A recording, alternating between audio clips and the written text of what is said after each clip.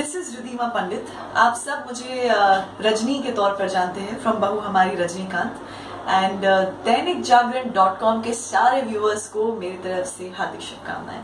महाराष्ट्र के औरंगाबाद ज़िले के लासूर में एक व्यापारी ने अपनी बेटी की शादी में गरीबों को घर तोहफे में देकर शादी में फिजूल खर्ची करने वाले अमीरों के लिए एक मिसाल पेश की है। बिजनेसमैन अजय मुनोत ने 90 मकान बनवाए और सभी मकान अपनी बेटी श्रेया की शादी में गरीबों को तोहफे में दे दिए। ये मकान उन्होंने बेटी की शादी में होने वाले खर्चे को बचाकर बनाए हैं। वन रूम किचन वाले इन घरों की कॉलोनी को दो एकड़ ज़मीन पर दो महीने में बनाया गया है और इनके निर्माण में तकरीबन डेढ़ करोड़ रुपए का खर्च आया है। अजय का कहना है कि रोटी और कपड़े की ज़रूरत तो सभी की पूरी हो जाती है, लेकिन बेघर गरीबों के लिए घर का सपना बड़ा होता है।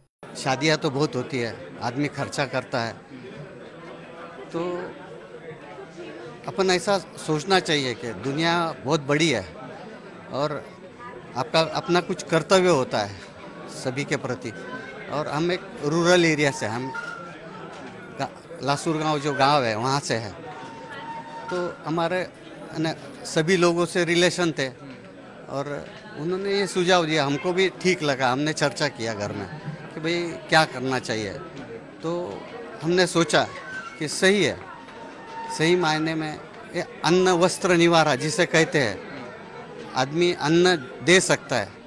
वस्त्र थोड़ा उसके ऊपर रहता है, वो दे सकता है। निवारा नहीं दे सकता। तो हमारा भी इस समाज के प्रति कुछ कर्तव्य है।